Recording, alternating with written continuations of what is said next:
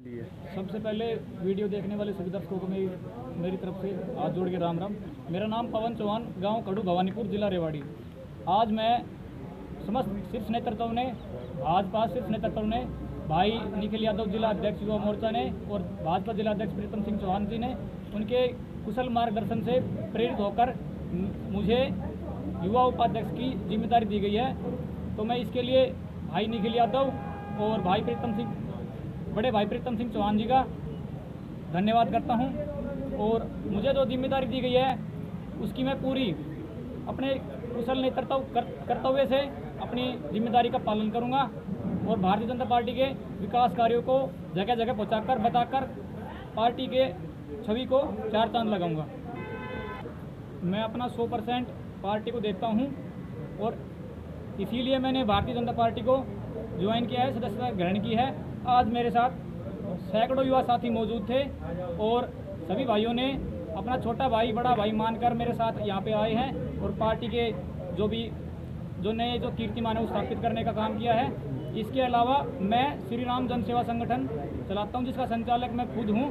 हमारे संगठन ने समस्त छत्तीस बिरादरी के भाईचारे के सहयोग से आज तक लगभग तैंतीस गरीब बहन बेटियों की शादी में सहयोग कर चुके हैं। ये सब छत्तीस बिरादरी के भाइयों के सहयोग से हो पाया है। मैं उन सभी भाइयों का भी धन्यवाद करता हूँ। मैं अपनी जिम्मेवारी को पूरी निष्ठा और कर्तव्य का पालन करूँगा और कभी भी कोई गलत कार्य नहीं करूँगा। पार्टी की छवि को खराब करने का कार्य कभी नहीं करूँगा मैं।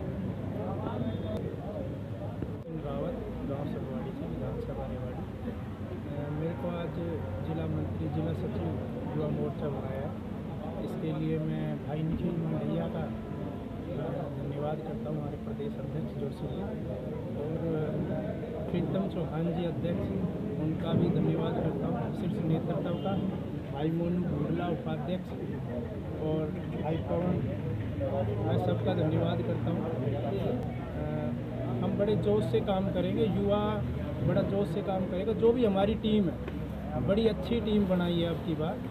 पहले भी अच्छी टीम थी अब की बार और जोश से काम करेंगे। अभी चुनाव आने वाले हैं लोकसभा के।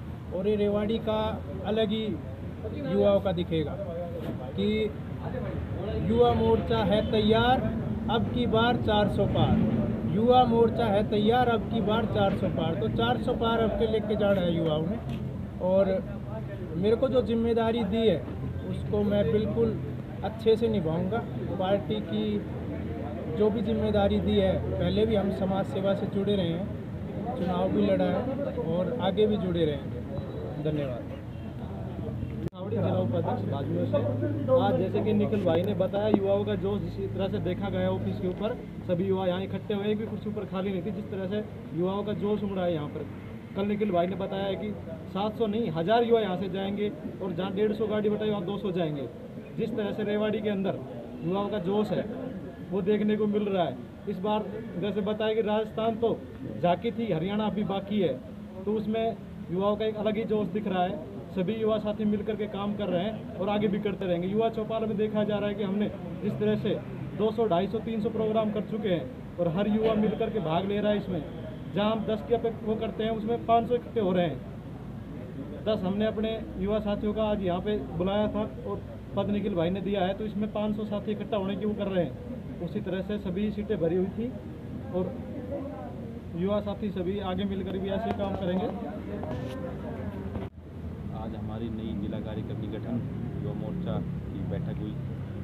हमारे माननीय प्रदेश अध्यक्ष श्री योगेंद्र शर्मा जी के नेतृत्व में मेरे को पुनः जिला अध्यक्ष से युवा मोर्चा की जिम्मेवारी मिली।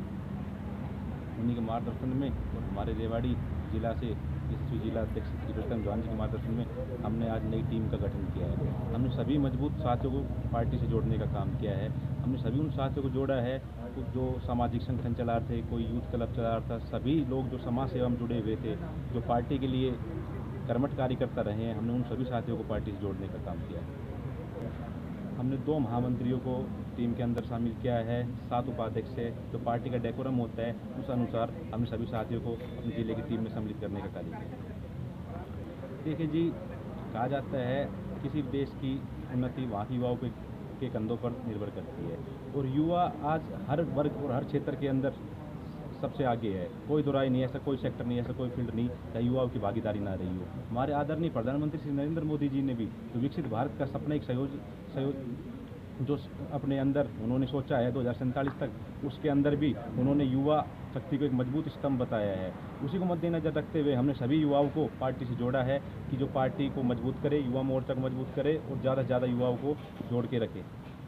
हमने सात उपाध्यक्ष का चयन किया है, हमने छः सचिव का चयन किया है, हमने आईटी मीडिया और कोषाध्यक्ष को टीम के अंदर सम्मिलित किया है। जी इसमें कोई कोई हर नहीं कि सभी युवा साथी मज़बूत कार्य करता है और सभी मिलजुल कर पार्टी को एक नया आयाम स्थापित करने में कारगर साबित होंगे। यहाँ से युवा मोर्चा की 100 गाड़ियों के साथ युवा मोर्चा वहाँ पर सम्मिलित होगा और 700 के लगभग युवाओं की भागीदारी इस रैली के अंदर होने वाली है। संदेश यही है कि युवा जोश, युवा ताकत नई उमंग के साथ हम सब मिलजुल कर काम करेंगे और एक जो भाईचारा है उनको सभी के तालमेल, सभी को साथ लेके चलने का हम, हमारा पूरा प्रयास रहेगा, सभी लोगों को हम साथ लेके आगे चले और सभी को आगे बढ़ाने का भी कार्य हम लोग करेंगे। हमारे युवा मोर्चा अध्यक्ष निखिल की अभी युवा मोर्चा प्रदेश अध्यक्ष बदलने के बाद पुनर्नियुक्ति हुई थी। उसके बाद इन्होंने अपनी नई टीम की घोषणा करनी थी आज इन्होंने अपनी नई कार्यकारिणी की घोषणा की है। सभी कार्यकर्ताओं को युवा मोर्चा को जिनको दायित्व मिला है, बधाई देता हूँ और निखिल जी से भी ऐसी अपेक्षा रखता हूँ कि इनके नेतृत्व में युवा मोर्चा नित नई बुलंदियाँ छुए और रेवाड़ी युवा मोर्चा का प्रथम पूरे प्रदेश में फहराए लिए बहुत खुशी का विषय है। मोदी जी के नाम से हर कार्यकर्ता हमारे उत्साह में उत्साह में है। पूरा जनमानस रेवाड़ी का उत्साह में है। करीब दो सौ पचास के आसपास हमारे यहाँ से बस और 2000 छोटी गाड़ियाँ इस रैली में जाएगी और माननीय प्रधानमंत्री जी का अभिनंदन, स्वागत वहाँ करेगी बहुत अच्छा गठन किया है इन्होंने। तो दोनों महामंत्री, पहले अमन कसाना इनकी पहली कार्यकारिणी में महामंत्री थे और अब अरुण तंवर को इन्होंने दूसरा महामंत्री नियुक्त किया। उपाध्यक्ष भी सारे उल्लासित और एकदम युवा, ऊर्जावान है इनके सचिव भी और बहुत अच्छी टीम निखिल जी ने बनाई। ज़ाहिर सी बात देश का युवा सोचता है पार्टी के लिए, देश के बारे में। आज के युवा में राष्ट्रवाद। राष्ट्र प्रथम लेके चल रहा है। युवा देश है और मोदी जी ने जो पीछे अपना वो बताया था, उसके अंदर कहा था किसान, नारी, युवा और गरीब, हमारा लक्ष्य है इन्हीं का विकास, इन्हीं की उन्नति और इन्हीं की तरक्की। तो फोकस रहेगा परसों भी अपने न्यू रेवाड़ी रेलवे स्टेशन जो है फ्रेट कॉरिडोर जो बन रहा है ईस्टर्न फ्राइट कॉरिडोर इसका भी माननीय प्रधानमंत्री जी अहमदाबाद से वर्चुअल उद्घाटन करेंगे, जिसको हम पूरी टीम के साथ और पूरे रेवाड़ी के कार्यकर्ताओं के साथ अपना ठोठवाड़ जो गाँव है, इस जगह पे ये उद्घाटन होगा।